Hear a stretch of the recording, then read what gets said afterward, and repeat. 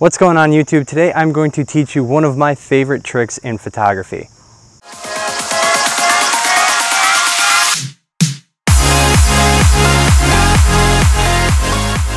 Today we are at Independence Oaks in Clarkston, Michigan, and I'm going to show you how to take control of your light temperature so that you can create even more dynamic portraiture in the shade. As we all know, shade is one of our favorite places to kind of lead people in photography. We, we really like the shade because of the soft, balanced light that it provides.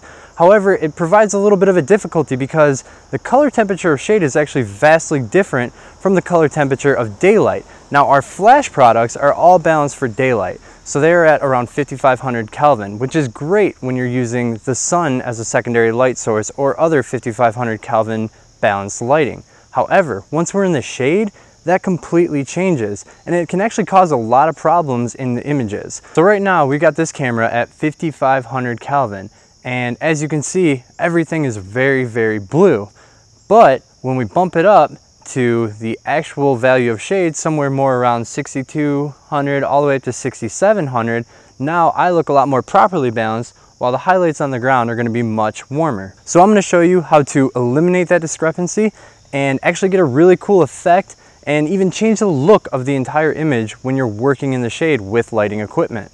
We've got Jake in front of my Yongnuo YN360, which is at the moment powered at 5500 Kelvin temperature. We've also got the white balance of the camera at 5500 Kelvin. Now, if you look closely at the part of his shirt that's being illuminated by the YN360, you can see the difference between the highlight and the shadow. It is a very crisp white. If you look at the shadow side, it's a cooler tone. It's much more blue and it actually doesn't balance at all. This is a problem that we're constantly facing when we're shooting in mixed lighting sources or if we're using flash while shooting in the shady environment. Okay, now I have increased the white balance of both of the cameras to 7100 Kelvin. Now as you can see, the shadow side is actually much cleaner. We got rid of a lot of that blue. However, if we're looking at the part that is being hit by the daylight balanced light source, which is that Yongnuo LED again, we can see that now that has a little bit more of a red tint to it.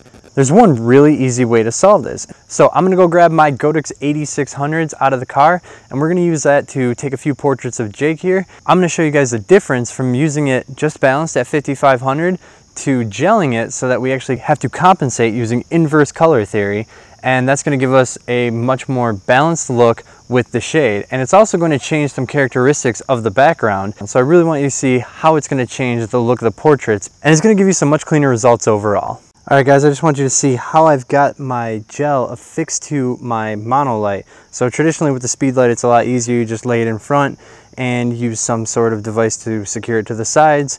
Uh, with the monolight it's a little bit different because we're using an omnidirectional bulb. Typically I'm using rubber bands and I've just actually started purchasing silicone rubber bands. Unfortunately they're not here yet. Those silicone rubber bands are going to allow me to not have to worry about like the heat transmission.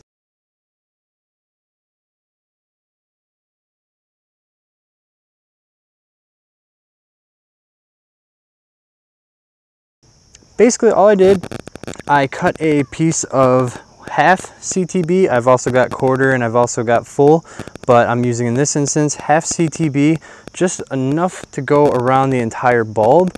Obviously, we still got that front open, but that's not really a huge issue because it's an omnidirectional bulb, so light's going everywhere, and a majority of our light is actually going to be turned into that blue color. And if you guys haven't watched my other videos, I'm actually using the Godox AD600 BM, which I highly, highly recommend. I absolutely love this light and the entire Godox system. So this is kind of how we're setting it up for today, but there's plenty of different ways that you can gel it. You could actually gel your actual modifier.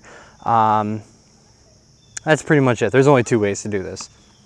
This is my favorite environment to use the half CTB gel on. Uh, basically what's going on here, we've got Jake in complete shade. As you can see, he is shade, everything. All our sunlight is behind him, but that still gives a little bit of highlights on his left side because he's standing in that pool of sunlight. The reason this is one of my favorite ways to shoot this is because once we increase the color temperature of our light and have to do that warming balance to compensate for the blue of the light, we're going to see the daylight that was originally white shift up to a much warmer oranger tone. So I'm gonna show you guys here what I mean. Let's bring like one arm kind of on the, yeah, yeah, just like that, perfect. Turn your nose just a little bit more this way. And a little angle, yep, yep.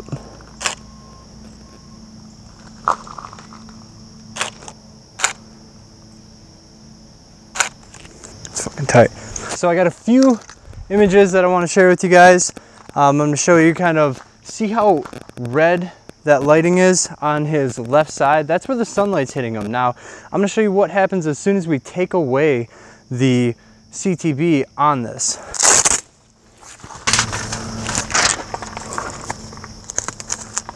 So now I know that we took off the CTB, which means couple things. It means that our white balance is gonna shift from 7100, which is what I've been using with that half CTB, all the way down to about 5500.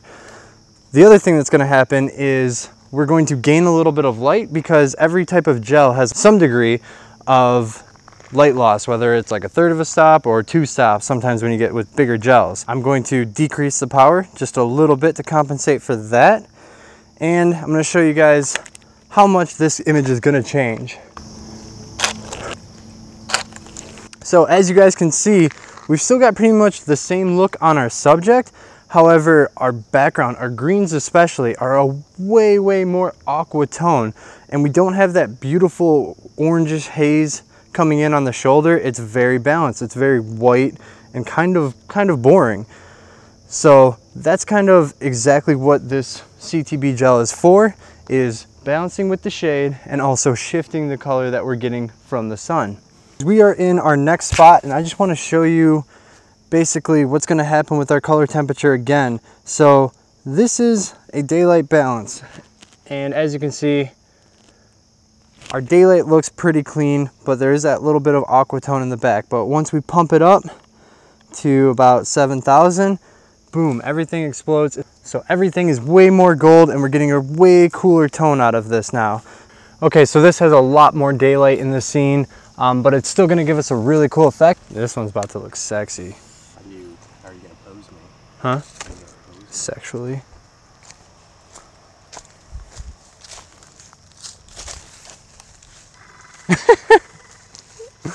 Okay, so for these first couple of shots, we're gonna go daylight white balance and see how that one looks.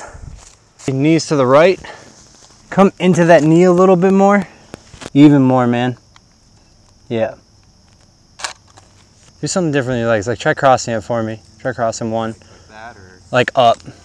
Like the 90. Yeah, yeah. Now bring, yeah, now kind of like lean into that right one just a little bit. Yeah, yeah, there we go. All right, so we got some cool ones with uh, daylight balance. Now we're gonna put that CTB back on and check out the difference. got it. Good snug, there you go. Perfect. Dude, thing's tight. Okay, so we got the CTB on. Now we're gonna go back up to 7100 and see what we get. Yes, go back to that pose for sure.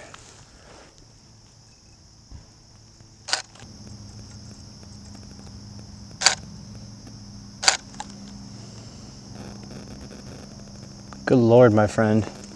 It's beautiful. Like, you're like bad boy Jesus right now.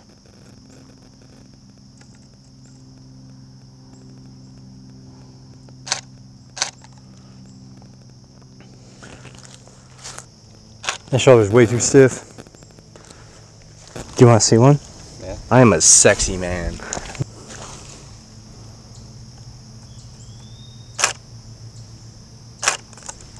Right there. Perfect.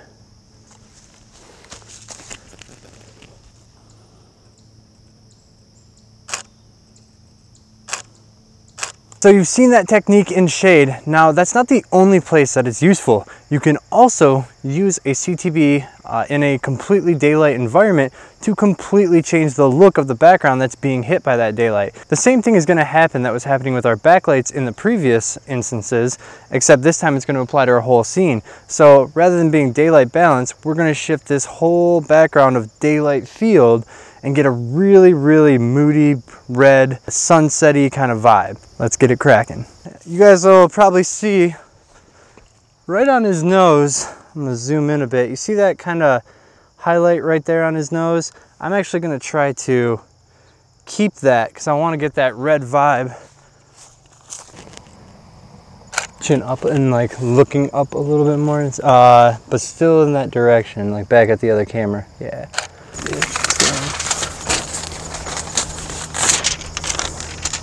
We're gonna do one more quick comparison, get the daylight, show you guys what that looks like in this final shot. Actually, real quick, let's go no flash for one. Yawn.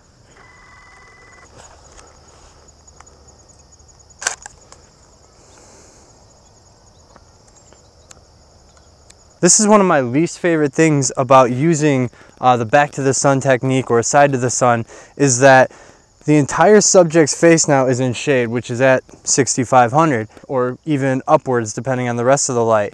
But we're gonna be lighting him with 5500. Now the problem that's gonna create, I'm gonna take one quick shot here just so you guys can see it. Now I'll put this shot up. The problem that that's gonna lead to is that we have a daylight balanced light source for the lit side of his face. However, as we're transitioning into the shadow side of his face, not only are we transitioning the amount of light into those shadows, but the color is changing and we're getting blue skin tones. And we really don't want blue skin tones because it's just kind of makes the skin look a little bit dead, a little bit gross. Turn this back this way. Perfect. I think this will illustrate really well what happens when we're using 5500 Kelvin light and we've got a shade side of the subject. All right guys, so I hope that this helped you out or at least gave you another idea to try out and go and put into your outdoor photography, especially your single light photography. Now you can take this as far as you want. You can use a full CTB and get even more yellow backgrounds. Uh, you can also take this a complete other way if it fits your style more and use a CTO gel to actually make your light more orange. Now commonly that's something that we would do like inside a church to balance with tungsten lighting. However, it's no rules in photography. So if you wanted to bring it out here and just get like a wildly blue background, that's something that you can implement into your style. All right guys, best of luck with this technique. If you use it, if you try it out, I'd love to see what you come up with. Go ahead and link in the comments an image that you created with this. And beyond that, if you like the video, please hit the like button, subscribe for more, and let me know what you guys want to see in the future. All right, take it easy, YouTube.